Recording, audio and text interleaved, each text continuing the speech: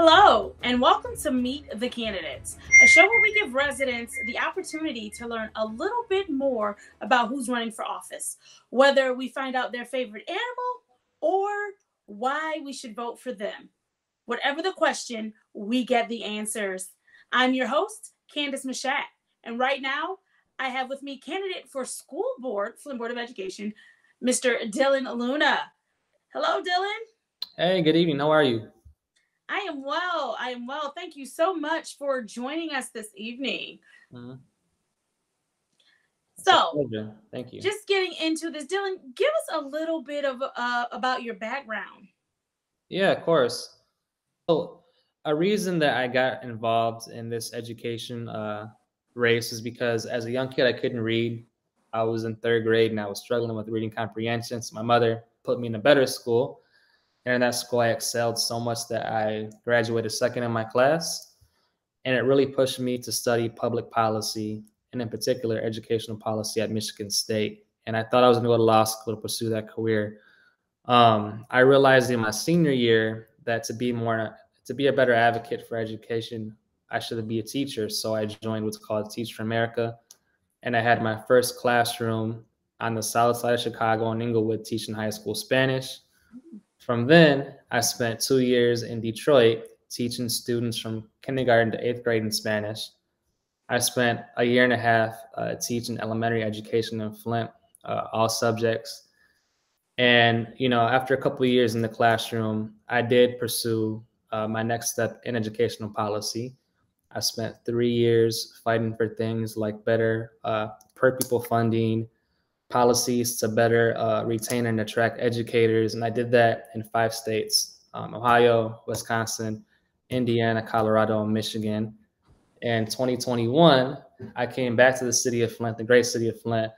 And in my current role, I work at the Flint and Genesee Group, and I manage our business attraction program, trying to bring new capital and investment into our city and county to pay for things like public schools, roads, and all those good city services we like to have all that to say, I've been a lifelong um, advocate for public education, and I believe that the city of Flint has a lot of potential to become a better city, but it really starts with our schools. Now, at one point in time, thank you for that, by the way, Dylan. At one point in time, uh, Flint Community Schools were a model for the country as far as education. Yeah. And now, you know, the story is a little bit different. Mm-hmm. one of the models at Flint Community School is that Flint Community Schools are still the best choice. Obviously, if you are running for uh, school board, please explain to us why you believe that Flint Community Schools are still the best choice. Well, here's the here's I call it the bureau the bureau honesty. Mm-hmm. Roughly 15,000 students reside in the city of Flint.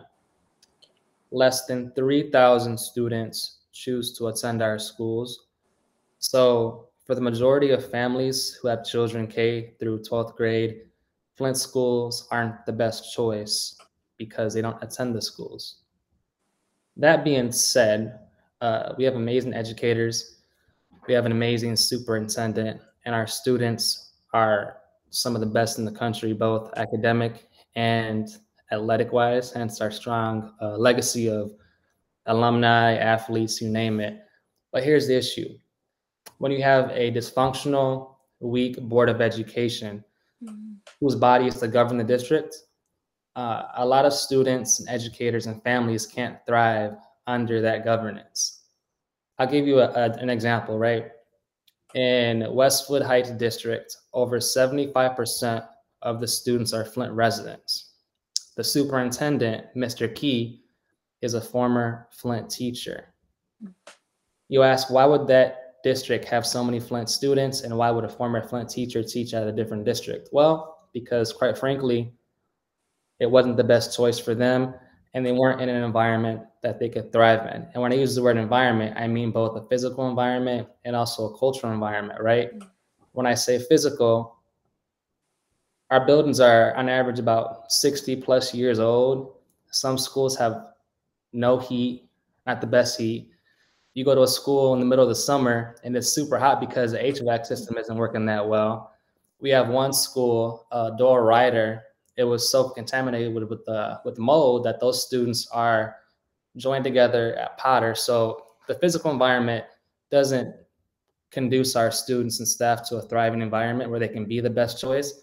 But also, when a board is so dysfunctional, um, the culture comes from the top to the bottom, and the students and staff see that. Hence, there's such a turnover when it comes to our student enrollment, but also our staff.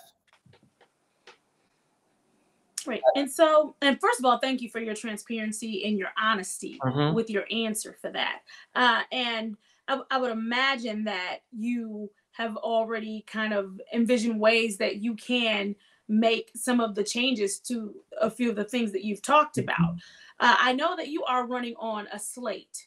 Yes. And my question to you is if everyone on your slate uh, does not get elected with you, uh, are you willing to work with the whomever is elected? And if uh, you are the only new person that's elected are you willing to work with the, the current board? And how do you see yourself fitting into that and being a positive change there?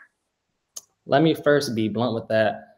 I'm working hard every day to make sure myself emily Doerr millie Relerford Terae king and michael clack are elected to the five open seats on the board. That being said i won't just work with anybody I'll work with anyone who's elected to produce results because you can work with mm-hmm. folks for months and years on end and not produce one good result. So my my mission as one out of seven board members is to work with the collective majority to achieve deliverable transformational results for students, staff, families, and the community. Okay.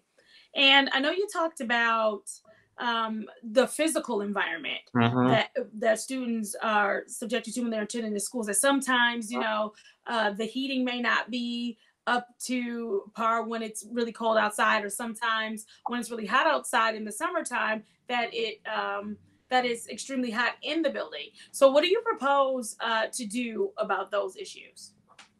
Yeah, so I'll, I'll give the uh, the current board credit. You know, they they'd been getting money from the federal government since the COVID pandemic started through the CARES Act, um, American Rescue Plan Act. You know, they receive these funds through what's called ESSER funds, ESSER 1, 2, and 3.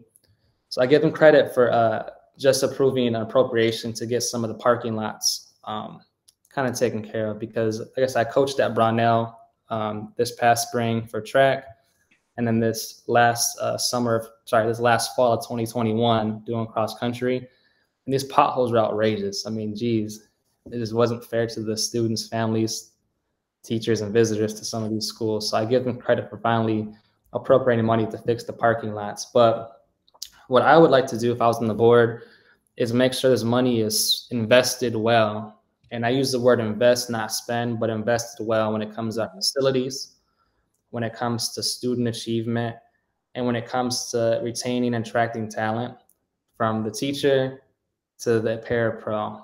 All this money has defined uses of what it can be used for and what it can't be used for. So making sure that's done correctly because we don't want to give that money back to the federal government. Right. But also making sure the money is spent wisely, invested well, and spent with some kind of urgency. And when I, I use the word urgency because our district and students aren't uh, in a very urgent need of better leadership, but also resources from facilities to things to get them back after a whole two-year COVID pandemic and also the Flint water crisis.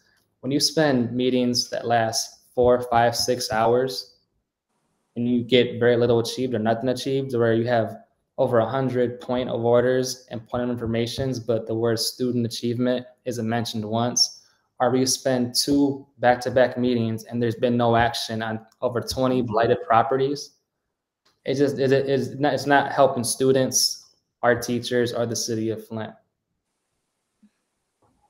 and so you mentioned earlier that there were about 17,000 students mm. that live in the city of Flint. and a big chunk of those students do not attend Flint Community Schools. Mm-hmm. So, what would be a plan that you have in place to help attract those students back to Flint Community Schools? Yeah, so I have a five point plan, but if you look at uh, other members of the slate that we're running on, we have very similar, identical kind of priorities. So, number one, it begins with our facilities. Um, you know, I've been a teacher in a, in a not so great classroom in Detroit. It's the middle of like May. You're wearing a shirt. And I had a tie when I taught, but you're wearing a shirt and tie. You're on the second floor. It's about 2:30. There's no uh, AC and the sun's hitting you. The teacher is hot. The students are hot. It's hard to focus. So, as a board, taking care of those bigger picture things like having high quality buildings, it gives towards a conducive learning environment and it helps teachers and students be their better best when you know it's not hot or it's not cold. You can worry about other things like learning and teaching. So getting our facilities in order right?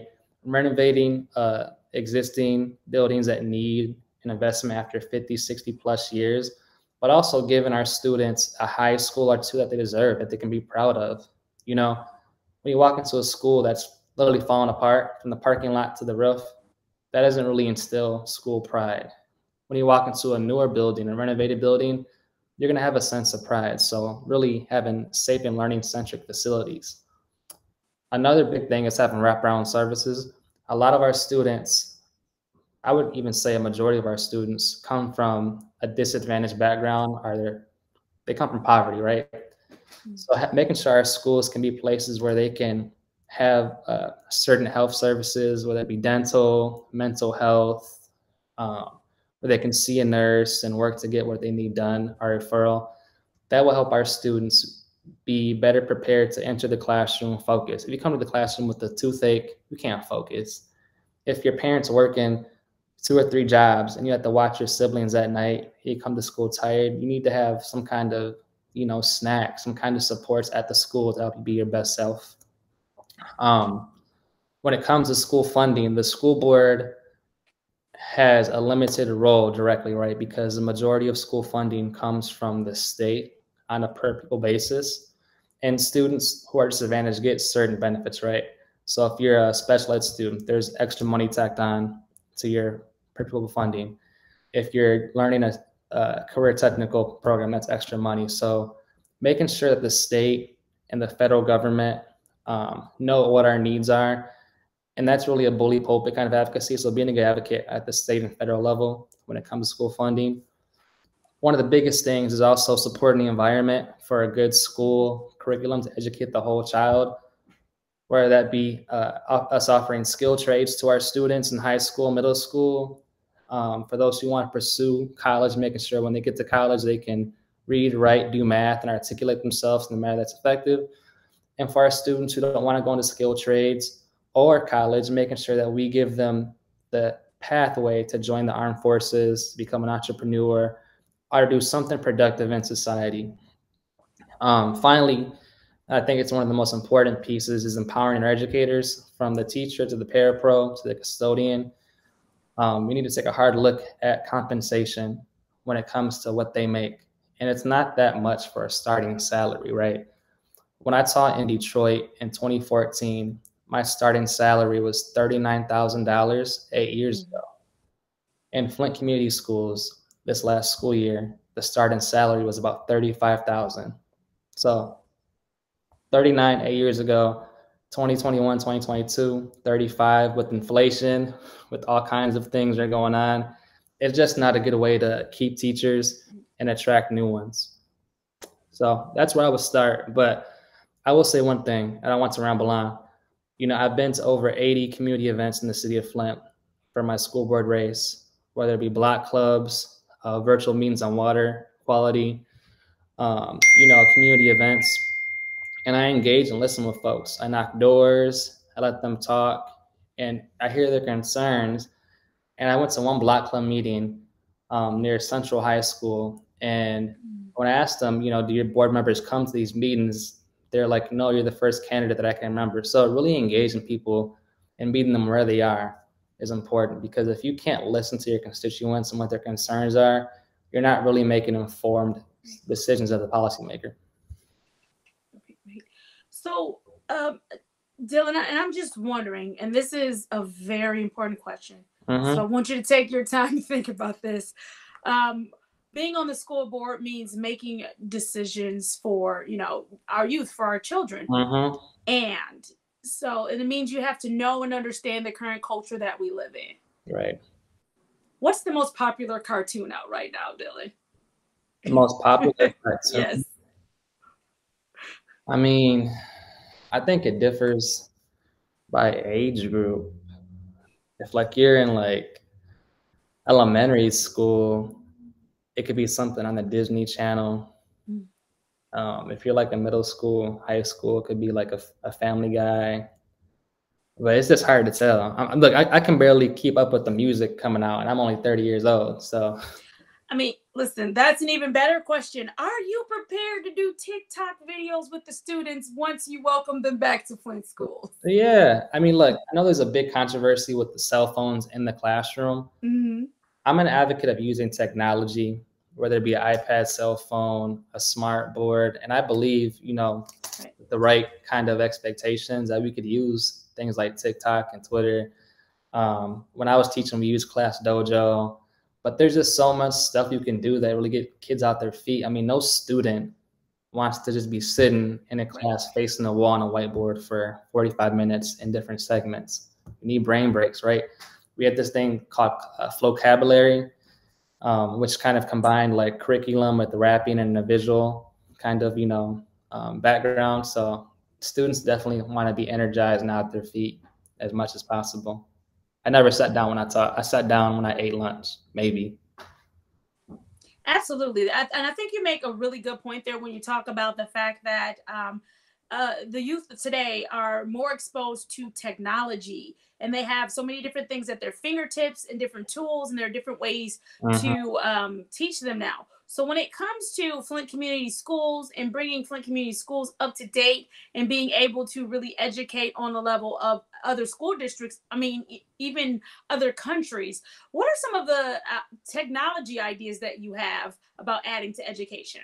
Yeah, so I will say this. I went to Potter Elementary earlier this week. I got invited by a friend of mine who's a teacher. By the way, I want to reiterate, we have some of the best teachers in the country mm-hmm. and our students have some of the most potential. Um, so there's a couple of things you could do with technology um, in a in a post-COVID society. Well, I don't even want to see post-COVID, but in a COVID era society, it's very important that our students have technology, whether it be a Chromebook or iPad. And not only do they have the technology, do they have internet access that's at a good speed at their home? So ensuring that not only is good for the student, but it's equitable because broadband access is, a, is an equality issue. Um, but within the school building and in the classroom, excuse me, having smart boards for one, right? Mm-hmm. When I was teaching, we were kind of going through like a, a transition from having the whiteboard where you could like sketch and do stuff on it. And that was cool. But we started to go into what's called a Promethean board, where you can do a whole lot more. Yes. Um, it's like a giant like touch TV slash computer that engages a whole um, you know classroom. But you have to realize too, every learner is different. You have students who thrive by visuals, students who thrive with like building blocks, like tactile learners, students who thrive in whole group instruction, and students who, who thrive in small group are individualized instruction. So with technology, they can do all three, right? You can be doing a lesson on your Chromebook on your own. You can be in a small group of like five or six with your teacher or parapro using technology, or you can be in a whole group instruction, whether you're using the Promethean board, everyone has their own laptop, or shoot, there was one program we did um, where like I put up like a QR code and the students had like an iPad and like you could like kind of like answer the question um, using like Jeopardy. So like you do a lesson, you do a quick what's called a check for understanding to make sure they got it. And if like 80% of the students couldn't answer the question, that tells the teacher that you have to, you have to reformat the lesson mm-hmm. that day. But all that to say, as a board member, I'm not going to be teaching students. Your job as a volunteer board member is to govern. We want to make sure that the schools, the teachers, and the individual students are equipped with some of the most effective and best technology in which to succeed and that's through right. the appropriation process right And um, finally, I know that uh, a lot of times with the meetings, you want to make sure that you're giving out good information, good information to the community, good information to the parents. And sometimes meetings do not have the best attendance. Uh-huh. Uh, is there any way that you can think of that uh, the the school board will be able to engage parents? You got to meet parents where they are. Um, 2022 is not 2000. It's not 1980 it's not 1970.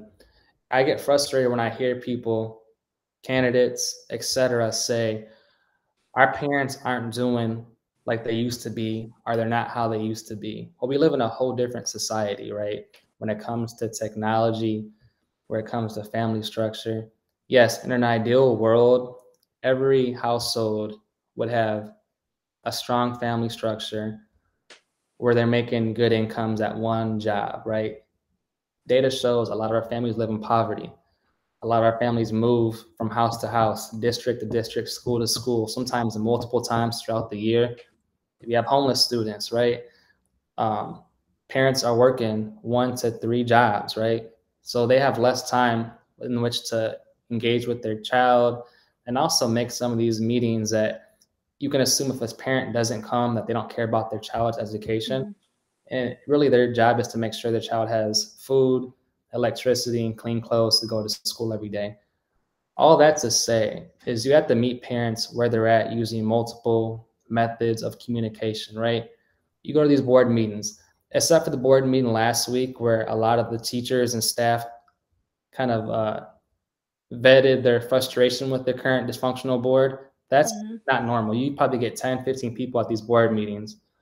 So that tells me the board's not meeting parents where they are. You can have board meetings in different areas in different times of the year and also the day. One. Two, some parents just won't come to the board meeting because they have to do other things that are higher priority for them. They expect us to take care of our business. So sending out a newsletter to their to their household via mail, via text, via um, you know, email. You can do a quick survey. I'm not trying to do a 50 question survey, but what you could do is send a quick five question survey to parents um, using technology. And you know, sometimes it may not work. It's called trial and error, but the that the cost of doing these is not high. So the effort to try is really what you can do. Um, but parents aren't engaged because they don't feel empowered to be engaged. Mm. Right. And Dylan, I, I just want to thank you for your time this evening. Um, you you've shared so many thoughts from the fact that you do believe that teachers deserve pay increases uh-huh. uh, to the fact that you believe that um, there should be more money put into building so that children are physically comfortable in the environment in which they have to learn to the fact that there should be more money put into uh, just the education period whether it's adding new technology or even getting up to date books so you uh-huh. share so many things with us and there's a method to my madness of asking you the very last question of please explain to those of us who may not understand what the school board does what you're uh, responsible for and then um, leave us with, after you explain to us what the school board is responsible for, leave us with why we should vote for you in November. Yeah. So the school board's job is to govern the district, right? They are the fiduciary of the school district when it comes to budgets, state, local, and federal grants. Their job is to create the environment where the superintendent, the principals, the teachers, and the students can ultimate, ultimately thrive by providing high quality facilities, funding, uh, priorities that help students achieve and be successful, and keeping and attracting teachers. Their job is not to manage or operate um, the district. Their job is to hire and evaluate and sometimes fire the superintendent. We've seen more than five superintendents in a short period of years, and that's not stable for the teachers, principals, our scholars, and quite frankly, the families. So again, so to summarize, a board's job is to create the environment for success for all those who live in the district and work in the district. And I think that's not happening right now with our current board. as to why people should vote for me, I think I'm committed um, to rebuilding trust. Again, 15,000 students, less than 3,000 attend our schools. That's not trust. I'm committed to using my experience as a former educator, as somebody who worked in education policy in five different states, as someone who was educated in policy, business, and education, but that's not my only qualification because I don't know everything. So I'm someone who's committed to working with others, to learn more, to be a better trustee on the board, but ultimately to get things done. And I can promise the folks who come to our board meetings and watch them on Zoom that I'm committed to not having more meetings that last more than a couple hours because you should get the work done in committee and not legislate and live in action at the actual board meeting because that just it's not conducive to a strong district. So thank you, appreciate it. And I will say one thing too. I mentioned money, money, money. There's also a reality. There's 80,000 people roughly who live in the city of Flint, and there's about 7,000 General Motors jobs, right? Mm-hmm. We don't have the wealth we did, not even, not, not even back in 2000, let alone 1970. So we have to build partnerships with community members, community organizations, with the state and federal government to backfill that loss of revenue to help make our district successful and have what we need to give our students to be successful and to fairly pay our teachers and educators in the classroom. And Dylan, I know I said that that was the final question, but I do want to point out to those who are going to vote in November, which should be everyone, uh-huh. that um, there are a few terms uh, on the ballot. Where will we find your name? I'll be running for the six-year term. So there's five open seats, right? There's three six-year terms. I would encourage you to vote for Dylan Liuna, Emily Doerr, and Melody Relerford for those six-year terms. You, you can vote for all three of us. There's a four-year partial term. I would encourage you to vote for Terae King in that four-year partial term. And there's a two-year partial term. I would encourage you to vote for Michael Clack for that two-year partial term.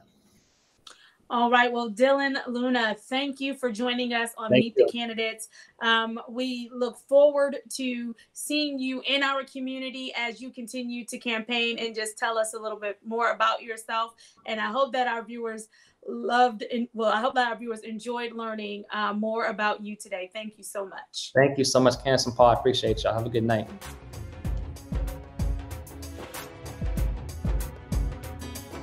Thank you for joining us on Meet the Candidates. If you haven't seen your candidate, make sure you have them join us. Tell them to give us a call at the number below.